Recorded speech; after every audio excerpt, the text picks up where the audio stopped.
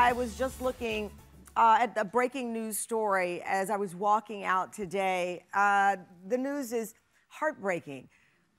Basketball star Brittney Griner. As you know, Brittney has been jailed in Russia now. She was arrested in February. An appeal was heard by a three judge panel. We just learned that they denied her appeal. So that means that her sentence of nine years in prison stands for now. No word if they will allow appeal again.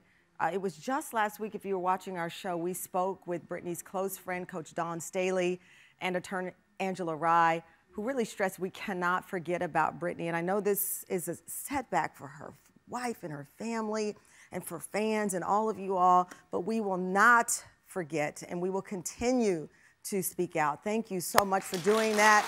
And everybody's on social media. It's even hard when I look at her picture now. You know, our hearts are just torn right now.